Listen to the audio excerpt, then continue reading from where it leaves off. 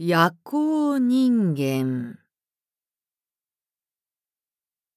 肝試しの会。名探偵明智小五郎の少年助手。小林義雄君を団長とする少年探偵団は小学校の56年生から中学の12年生までの少年20人ほどで組織されていました。みんなが近くに住んでいるわけではなく、学校も違っている少年が多いので、この20人がいつでも集まるわけではありません。時によって事件に関係する少年たちの顔ぶれが違うのです。みんな学生ですから、学校のある時間には探偵の働きはできません。また、お家で勉強もしなければなりません。ですから、日曜日の他は少しの時間しか働けないのです。ことに夜外へ出て冒険をすることはお父さんやお母さんがお許しにならないうちが多いので小林団長は団員たちを夜集めることはできるだけしないようにしていました。お許しが出た少年たちだけを7時か8時頃まで集めることにしてそれ以上夜更かしをしないように心がけていました。でも事件は夜起こることが多いので夜更けに働かなければならない時には少年探偵団ではなくてチンピラ別動隊を使うことにしていました。チンピラ隊はアリの町でくず拾いをやっている少年たちで夜の冒険なんか平気ですから都合がいいのです。少年探偵団たちは何も事件がない時には明智探偵事務所に集まって明智先生からいろいろなことを教わっていました。物事を注意深く見ることだとか何かの出来事の本当の意味を見破る推理のやり方だとか顕微鏡の見方科学の実験など探偵に必要な法医学の知恵を少しずつ教わっているのでした。また体を鍛えるために多くの団員が柔道を習っていましたし、団員の井上一郎くんのお父さんが元剣闘選手だったので、井上くんと一緒に剣闘を教わっている団員もありました。団員たちは時々肝試しの会を開くことがありました。江戸時代や明治時代の少年たちは、死誕会という肝試しの会をよくやったものです。真っ暗な夜。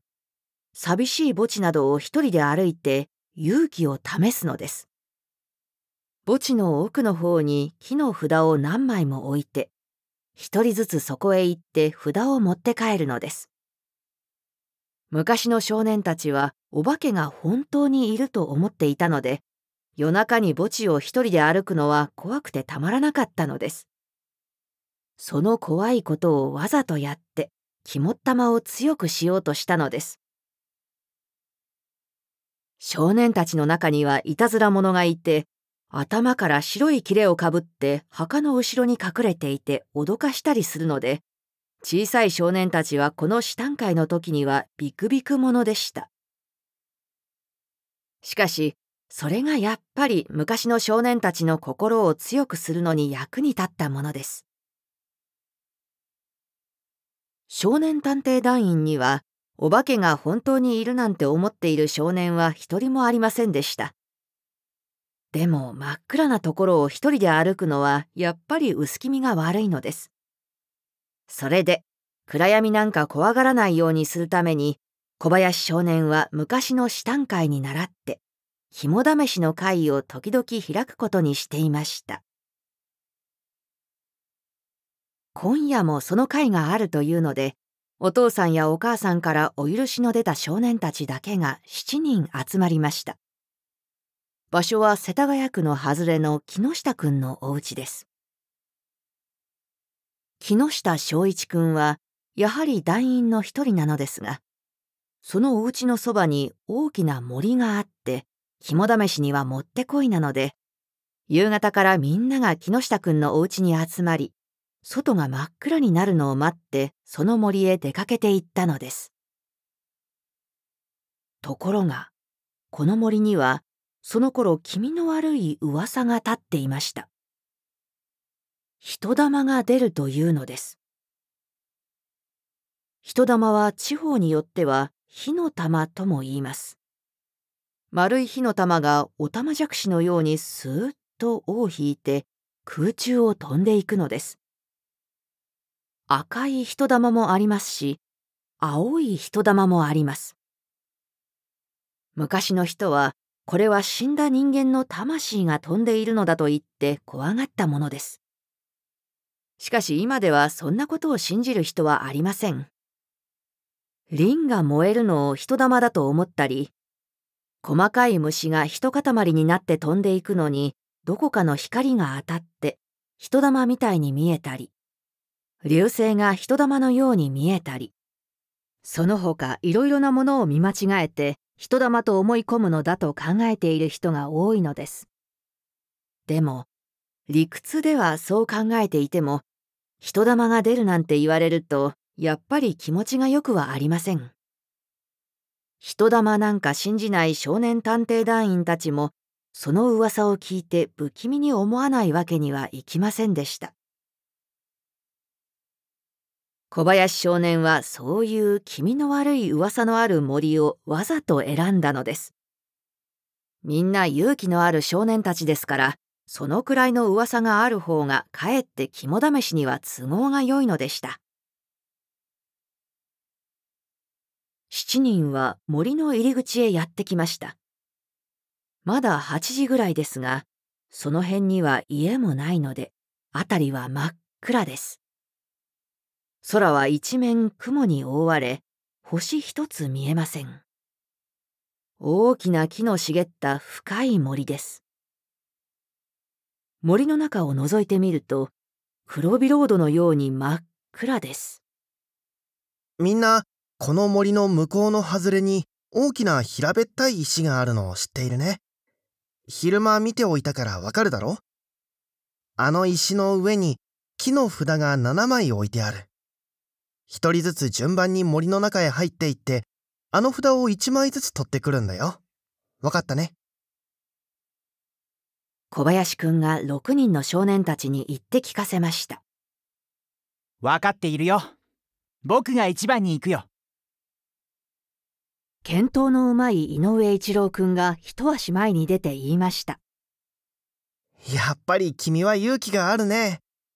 よし、一番乗りは井上くんだ。だが君、人玉に注意したまえね。小林少年がちょっと井上くんをからかってみました。人玉はどの辺に出るんだい？木下くん。一人の少年がおっかなびっくりで尋ねました。僕の家のそばの八百屋のおじさんが見たんだって。この森の真ん中に大きなシイの木があるんだよ。そのシイの木の下からスーッと青い人玉が浮き上がってきたんだって。そしてシイの木のてっぺんまでスルスルスルっとまるで木登りをするように上がっていってそれから空へ飛んでいってしまったんだって。それどのくらいの大きさなんだい？直径30センチぐらいだって。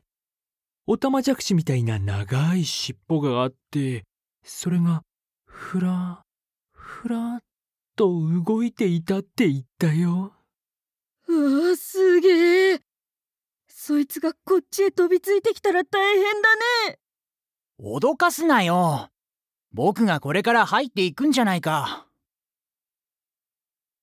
井上くんが叱るように怒鳴りました。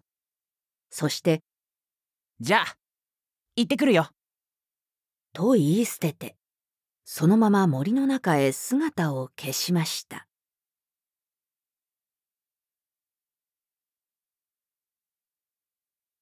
闇に光る顔井上一郎くんはただ一人黒ビロードのような闇の中を歩いていきました。大木が立ち並んでいますから、その幹に触りながら進むのです。目が見えなくなってしまったように何も見えません。風がないので、木の葉のざわめきもなく自動車の通る街からは遠く隔たっているので辺りはシーンと静まり返って耳が聞こえなくなってしまったのかと疑われるほどです木の札の置いてある大きな石のところまでは100メートルほどあります井上くんはやっと30メートルぐらい進んだばかりですうっかりすると木の根につまずいて転びそうになるので早く歩けないのです。ふと見ると森の奥の方になんだか白く光るものが宙に浮いていました。おや月が出たのかしら？まさか森の中に月が出るはずはありません。では一体あの光るものは何でしょう？井上くんはすぐに人玉のことを思い出しました。人玉なら怖くはありません。もっと近寄って正体を見届けてやろうとその方へ進んでいきました。しかし、五六歩進んだ時、井上くんはぴったり立ち止まってしまいました。それは人玉ではなかったからです。人玉にはオタマジャクシのような尻尾があると聞いていました。ところが、向こうに光っている丸いものには、尻尾がないのです。尻尾がなくて、ただ宙に浮いているのです。そしてそいつはだんだんこちらへ近づいてくるのです。井上くんはぎょっとして逃げ出しそうになりました。その白く光る丸いものには、二つの真っかな目があったからです。大きな丸い目が火のように赤く輝いていたのです。そして口です。ああ、その化け物がガッと口を開いたのです。口の中も真っ赤に燃えていました。耳まで裂けた真っ赤な口から今にも火を吹き出しそうに見えたのです。その赤い目の銀色の首はしばらくふわふわと宙に漂っていましたが、突然、つつつつと井上くんの目の前に飛びかかってきたではありませんか。うわさすがの井上くんも叫び声を立てて飛びのきました。そして一目散に森の外へ逃げ出したのです。いくら見当ができても化け物にはかないません。森の入り口に待っていた小林くんたち6人の少年は、わーっという声を聞きました。どうしたんだろうと心配しているところへ、井上くんが恐ろしい勢いで飛び出してきました。真っ暗ですからとっさには誰だかわかりません。6人はぎょっとして逃げ出しそうになったくらいです。なんだ、井上くんか。どうしたんだ？小林少年が尋ねますと、井上くんは息を切らして。ば、ば、化け物だ化け物が飛びかかってきたんだ少年たちはお化けなんか信じないはずだったではありませんか。化け物だって?そんなものがいてたまるもんか君は何かを見違えたんだよ。野田という少年が叱りつけるように言いました。野田くんは柔道を習っている強い少年でした。見違えるもんか。僕はそんな弱虫じゃない。確かに首だけの化け物が飛んできたんだ。真っ赤な目が燃えるように光っていた。口から火を吹くように見えた。そして顔全体が銀色なんだ。人玉じゃないよ。人玉に目や口があるはずはない井上くんは躍起となって言い張るのでしたそれじゃみんなでそいつを確かめに行こうじゃないか。小林少年が決心したように言いました。うん。行こう行こう皆が口を揃えて賛成しました。お化けと聞いて逃げ出すような臆病者は一人もいなかったのです。じゃあ、僕についてくるんだよ。小林くんはそう言って先に立って、真っ暗な森の中へ踏み込んでいくのでした。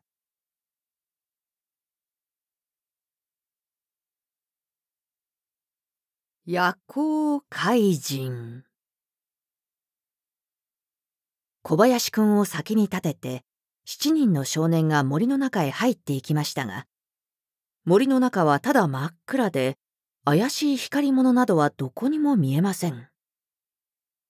もう30メートルほど進んだのに何も現れないのです。井上くん何もいないじゃないか。やっぱり君の気のせいだったかもしれないよ。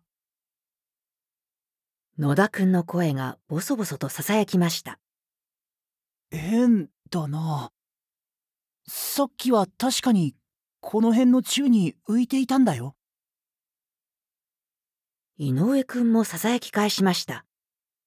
そしてキョロキョロと暗闇の中を見回すのでした。するとその時です。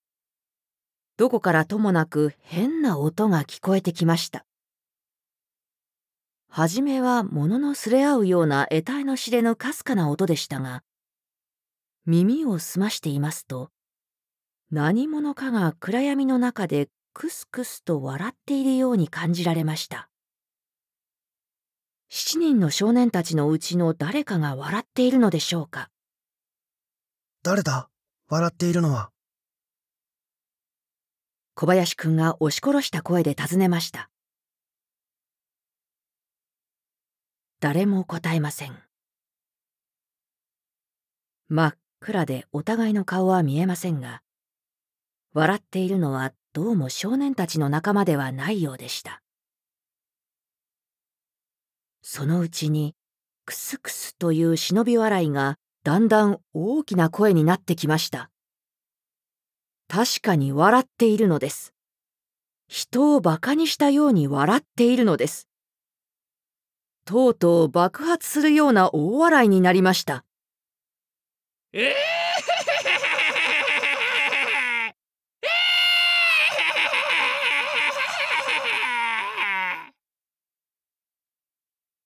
森中に響き渡る悪魔の笑い声でした。少年たちは思わずお互いの体を抱き合うようにして立ちすくんでいました。真っ暗闇の中に途方もない笑い声だけが響いているのは実に気味の悪いものです。あ、出た井上くんが押し殺した声で叫びました。みんなはぎょっとして辺りを見回しました。ずっと向こうです。森の木の間に見えつ隠れつあの銀色の首がふわふわと浮いているではありませんか。少年たちはいよいよ身を固くしてじっとその光る首を見つめました。スーッと一直線に飛ぶかと思うと、またふわふわと漂い、その首はだんだんこちらへ近寄ってきます。井上くんの言った通りです。銀色の顔、まん丸で燃えるように真っ赤な目、ガッと開いた赤い口。なんとも言えない恐ろしい顔です。みんな、逃げちゃいけないよ。お化けなんているはずはない。誰かが僕たちを脅かすためにいたずらをしているんだ。きっとそうだよ。だからみんなであいつを捕まえてやろうじゃないか。小林くんが囁きました。うん。やっつけちゃおう。野田くんが元気よく囁き返しました。そこで少年たちは互いに手をつなぎ合って、じりじりと怪物の顔の方へ進んでいきます。すると、宙に浮く首はそれと知ったのか、だんだん後じさりを始めたではありませんか。ふわふわと向こうの方へ遠ざかっていくのです。相手が逃げ出したとわかると少年たちはますます元気が出てきました。一層足を速めながら光る首を追っていきます。真っ暗な森の中、行く手に立ちふさがる大きな木の幹を縫うようにして進んでいくのです。銀色の首は少年たちをからかうようにふわふわと漂いながら森の奥へ奥へと入っていきましたが、やがてピタッと宙に止まってしまいました。そして、真っかな目でじっとこちらをにらみつけているのです。少年たちも立ち止まりました。行き詰まるような睨み合いです。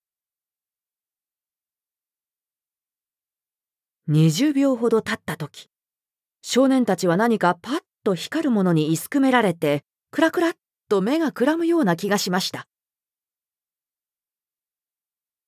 ああ、ご覧なさい。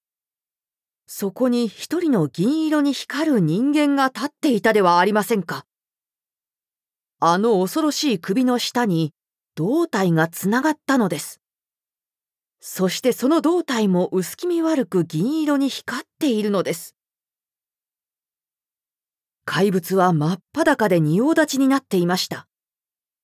その全身が五光のような光で覆われているのです。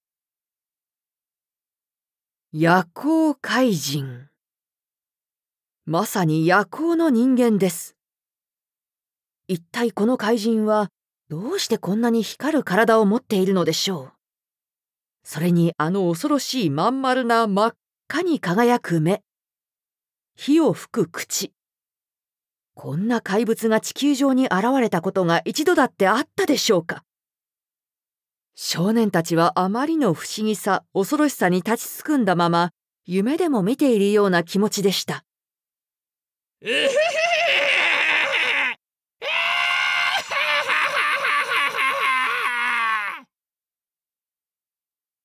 銀色の怪物は燃えるような真っ赤な口を開けて森中に響く笑い声を立てました。笑いながら怪人の光る体はスーッと地面を離れて宙に浮きました。そしてぐんぐん上の方へ登っていくではありませんか。この夜行怪人は飛行の術を心得ているのでしょうか。黒ビロードの闇の中にピカピカと銀色に光る人間。それが空へ空へと登っていくのです。なんという美しさでしょう。ぞっとするほど怖くて、美しい光景です。少年たちは息も詰まる思いでそれを見つめているのでした。